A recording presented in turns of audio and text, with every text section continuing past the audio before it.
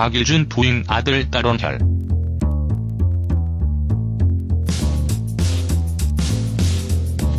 박일준이 마이웨이에 출연해 가슴 아픈 사연을 공개했습니다.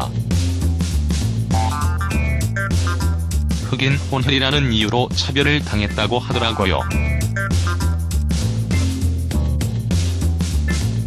트로트 가수 박일준 프로필 나이 54년생 올해 63세 가족관계 아내, 아들 박형우 딸 박혜나 데뷔 1977년 노래오 진아 어린 시절의 생모였던 어머니가 자신을 버렸다고 합니다.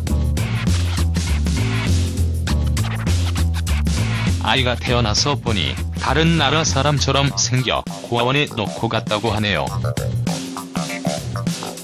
태어나서 친어머니를 한 번도 본 적이 없다고 하는데요. 광고까지 내서 찾아봤지만 결국 못 찾았다고 합니다. 집안을 보면 6.25 전쟁 이후에 미군 아버지 사이에서 태어났는데요. 고아원에 있을 당시에 생모와 친했던 지인이 입양했다고 합니다.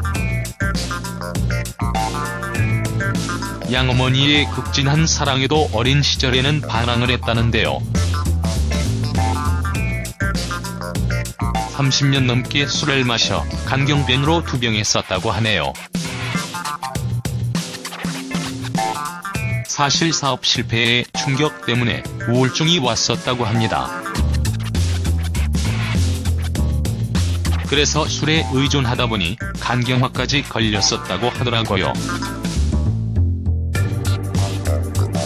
박일준 부인 임경애 씨는 기분 좋은 날에 같이 출연한 바 있습니다.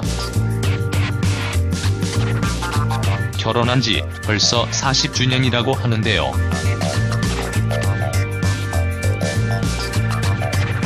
자녀로는 아들, 딸이 있다고 하더라고요.